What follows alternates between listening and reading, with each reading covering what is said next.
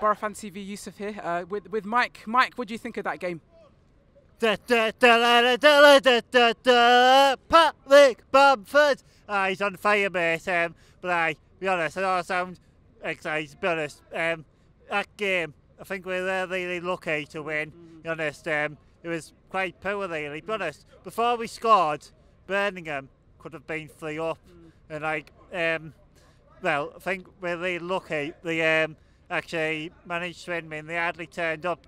well, a bit in the first half, of course, especially when they got a goal, but um, they pretty much, um, well, hardly even turned up in the second half. Um, and be honest, if even the stewards are saying that has been the story of their season, and um, they've just they've always played well, but um, just couldn't score. I mean, like their, their Jota um, and their um, right back, um, can't think of his name, yeah. you know, proper tortured us all over us.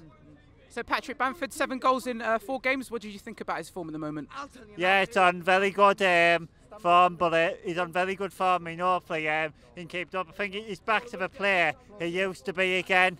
And um, I'm just hoping it um, stays the same when um, we get um, the harder games which um, are coming after Saturday.